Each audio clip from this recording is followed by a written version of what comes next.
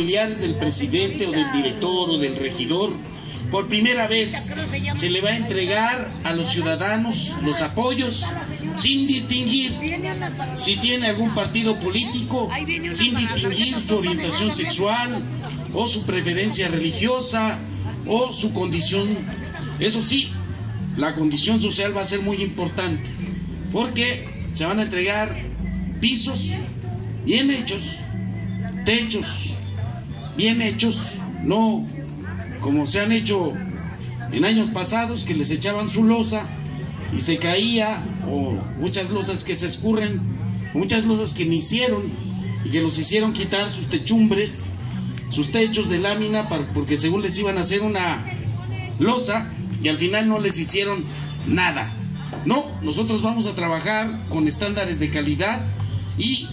que se registren en este programa también aquellas personas que viven en condiciones de extrema pobreza,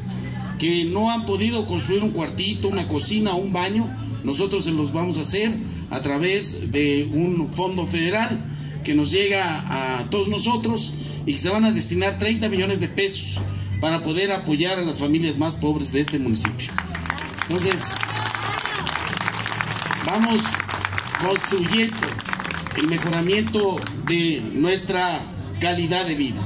Pues yo tendría un mensaje más extenso, sin embargo, quiero dar paso ya a, la conclusión del protocolo y decirles que yo estoy a sus órdenes, dejo mi número para cualquier cosa, a los comerciantes decirles que si hay abuso de las autoridades municipales, eh, les voy a dejar mi número, si hay abuso de los policías municipales, y de una vez les digo, se cobra la máxima de 300 pesos por una falta administrativa y es conmutable